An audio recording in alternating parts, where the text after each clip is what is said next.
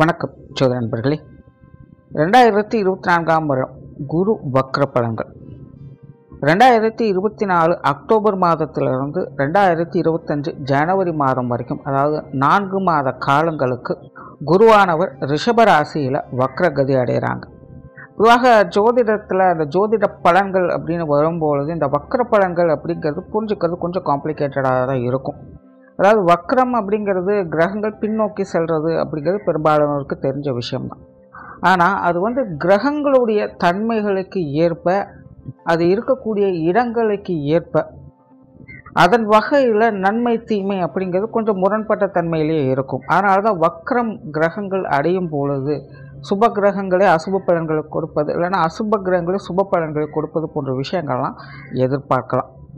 அந்த வகையில் கிரகாதிபத்திய வகையில் குரு வந்து முழு சுப கிரகமாக கருதக்கூடியவங்க பட் அதே நேரம் குருவை பொறுத்த வரைக்கும் குரு இருக்கும் இடம் பால் குரு பார்க்க தான் கோடி நன்மை அப்படிங்கிறது தான் பழமொழி. அப்போ இந்த மாதிரியான கிரகங்கள் வக்கரமடையும் அடையும் போது அதனுடைய பலன்கள் அப்படிங்கிறது ரொம்பவுமே மாறுபட்ட நிலையிலும் முரண்பட்ட நிலைகளும் தான் இருக்கும். அதனால தான் இந்த வக்ர கிரகங்களுடைய பலன்களை பொதுவான வகையில் எடுக்கிறது அப்படிங்கிறது கொஞ்சம் சிக்கலான விஷயம்தான். பட் இருந்தாலுமே இந்த வக்ர கிரகங்கள் என்பது சுய ஜாதகத்திலேயே வக்ரம் பெற்றிருந்தது அப்படின்னா கோச்சார் ரீதியாக அது வக்ரம் அடையும் பொழுது அதனுடைய முழு பலன் அப்படிங்கிறது கிடைக்க பெற்று வருது. மற்றவங்களுக்கு ஒரு ஐம்பது அறுபது பர்சன்டேஜ் நடக்குது அப்படின்னா இந்த வக்ரம் அடைந்தவங்களுக்கு சுயஜாதத்தில் வக்ரம் பெற்றவங்களுக்கு இந்த கிரகங்களுடைய பலன்கள் அப்படிங்கிறது தொண்ணூறு நூறு பர்சன்டேஜ் வரைக்கும் முழுமையாக இருக்கும். ஸோ பொதுவாகவே இந்த குரு பயிற்சி அப்படின்னு வந்துட்டாலே எல்லா ராசிக்காரங்களுக்கும் பொது பலன்கள் அப்படிங்கிறது சொல்லப்படும். அதில் எல்லா ராசிக்காரங்களுமே பார்த்தீங்கன்னா ஒரு சார்பினர் மட்டும் இன்னும் எதுவுமே நடக்கலை எப்போ போல தான் இருக்குது அப்படின்னு நினச்சிட்டு இருப்பாங்க.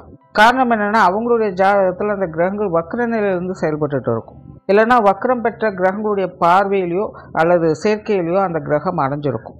ஸோ அந்த மாதிரியான ஆட்களுக்கெல்லாம் பார்த்தீங்கன்னா இந்த வக்ர காலங்களில் அந்த கிரகங்களுடைய அந்த பொது பலன்கள் அப்படிங்கிறது கிடைக்க ஆரம்பிக்கும். ஸோ அப்படி இந்த ரெண்டாயிரத்தி இருபத்தி நாலில் அடுத்த நான்கு மாதங்களுக்கு குரு ரிஷபராசியில் வக்ரம் பெறாங்க.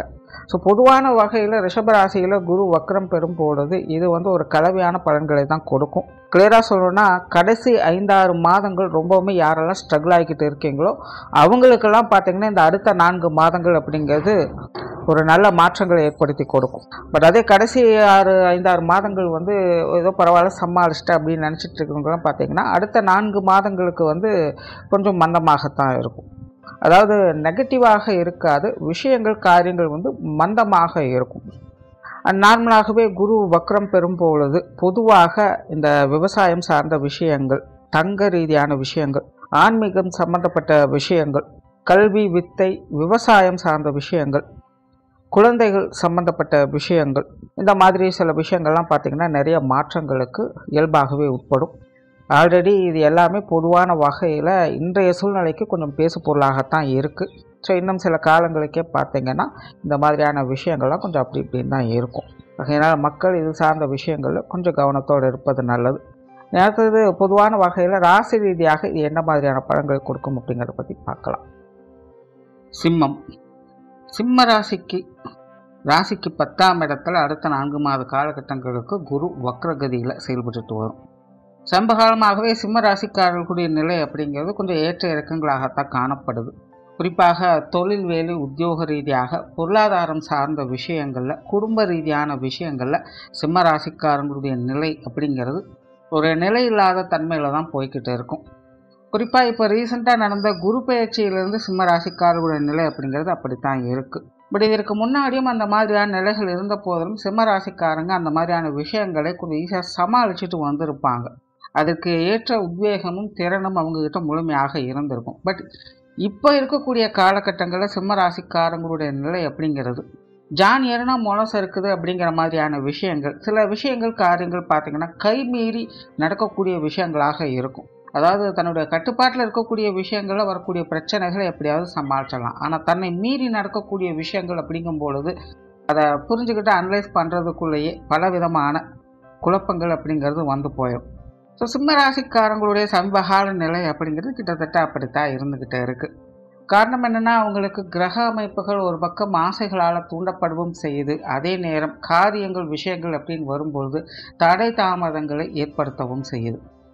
கிட்டத்தட்ட இந்த மாதிரியான விஷயங்களுக்கு இந்த வருட கிரகங்களுடைய சஞ்சாரம் அப்படிங்கிறது முக்கிய காரணமாக இருக்குது அந்த வகையில் குருவினுடைய பங்களிப்பு அப்படிங்கிறதும் சிம்மராசிக்காரங்கள் கிட்டத்தட்ட இந்த மாதிரியான நிலைகளை தான் இருக்குது இப்போ அப்படிப்பட்ட குரு பத்தாம் இடத்துல வக்ரகதியில் நீ அடுத்த நான்கு மாத காலங்களுக்கு சஞ்சலம் செய்துட்டு வரும்.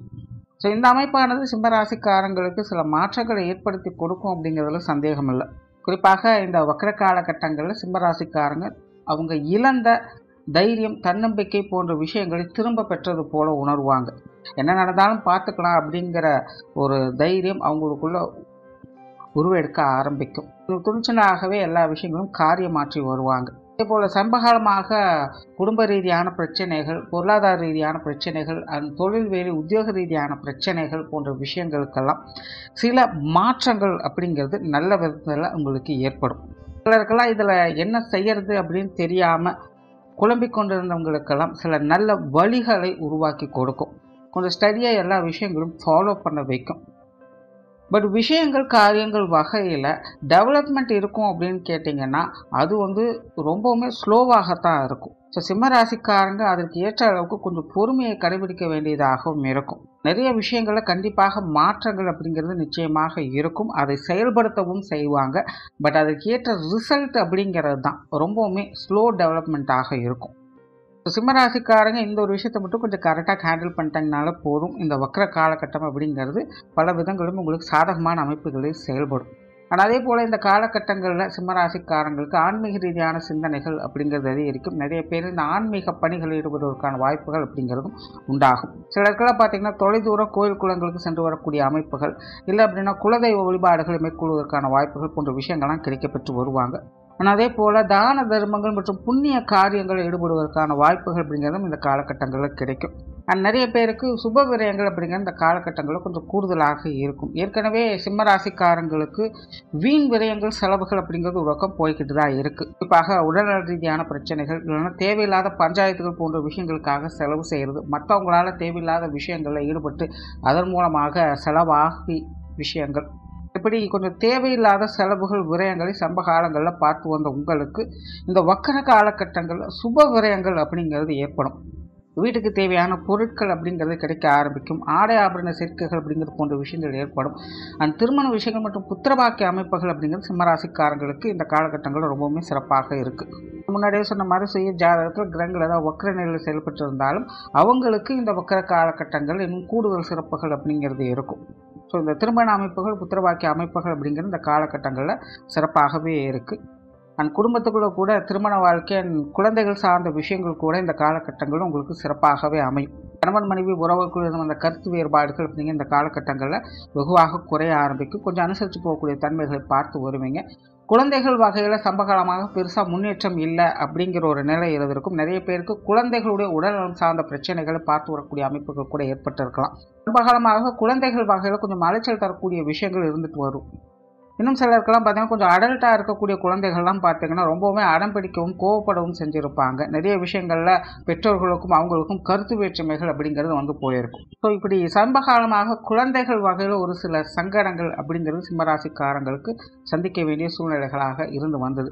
அப்படிப்பட்ட சூழ்நிலைகள்லாம் இந்த வக்ர காலகட்டங்களில் ஒரு நல்ல ரிசல்ட் கொடுக்கக்கூடிய வகையில் மாற்றம் பெற ஆரம்பிக்கும்.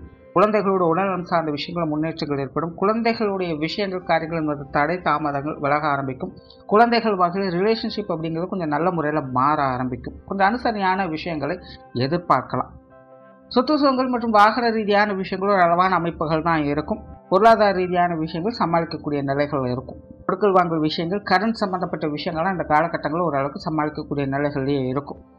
மாணவர்களுக்கு கல்வி மற்றும் வித்தை சார்ந்த விஷயங்கள் இந்த காலகட்டங்களில் கொஞ்சம் கவனம் என்பது தேவைப்படும். ஆக வக்கர ஆரம்ப பகுதிகள் அப்படிங்கிறது கொஞ்சம் சிரமமாக இருக்கும். ஆனால் பிற்பகுதிகள் அப்படிங்கிறது மாணவர்களுக்கு ரொம்பவும் சிறப்பான அமைப்புகளாக இருக்கும். மாணவர்களுக்கு இடமாற்றம் சார்ந்த விஷயங்களால் நன்மைகள் அப்படிங்கிறது ஏற்படக்கூடும். தொழில் வேலை உத்தியோகம் சார்ந்த விஷயங்களை நல்ல மாற்றங்களை ஏற்படுத்தலாம். குறிப்பாக இடமாற்றங்கள் போன்ற விஷயங்கள் இந்த காலகட்டங்கள் சிறப்பாக இருக்கும். சிலருக்கு சம்பள உயர்வுகள் பதவி உயர்வுகள் போன்ற விஷயங்கள்லாம் இந்த காலகட்டங்களில் எதிர்பார்க்க முடியும். புதிய முயற்சிகளில் நற்பலன்களை பார்த்து வருவீங்க. வெளியூர் மற்றும் வெளிநாடு சம்பந்தப்பட்ட விஷயங்களில் நன்மைகள் அப்படிங்கிறது உண்டாகும். தொழில் வேலை உத்தியோக ரீதியாக வெளி இடங்களிலிருந்து எதிர்பார்த்த உதவிகள் அப்படிங்கிறதும் கிடைக்கப்பெற்று வருவாங்க. வேலை செய்யக்கூடிய இடங்களில் மேல் அதிகாரிகள் வகையில் சில ஆதாயங்களை பெற முடியும். ஸோ இப்படி தொழில் வேலை உத்தியோக ரீதியாக சிம்மராசிக்காரங்களுக்கு சில நல்ல மாற்றங்களை ஏற்படுத்தி கொடுக்கும். உற்றார் உறவினர்கள் நண்பர்கள் வகையில் கலவையான அமைப்புகள் தான் இருக்கும். வழக்கமான சமாச்சாரங்களை தான் பார்த்து வருவீங்க. பெற்றோர்கள் மற்றும் உடன்பிறப்புகள் சார்ந்த விஷயங்கள் சமாளிக்கக்கூடிய வகையில் இருக்கும். ஸோ ஓவராலாக இந்த குருவினுடைய வக்கர காலகட்டம் என்பது சிம்ம ராசியை பொறுத்த வரைக்கும் சமீப காலங்களில் ஏற்பட்டு வந்த சங்கடங்களுக்கு தீர்வுகளை பெறக்கூடிய காலகட்டமாக அமையுது. கண்டகச்சனி ஒரு பக்கம் நடந்துட்டு இருக்கிறதுனால சிம்மராசிக்காரோட நிலை அப்படிங்கிறது ஒரு பக்கம் கொஞ்சம் அலைச்சல் நடந்ததாகத்தான் இருக்கும். ஆகையினால கொஞ்சம் விடாமுயற்சியோடு செயல்பட்டு வந்தீங்கன்னா இந்த காலகட்டமானது உங்களுக்கு சிறப்புகளை ஏற்படுத்தும். நன்றி வணக்கம் வாழ்க வளமுடன்.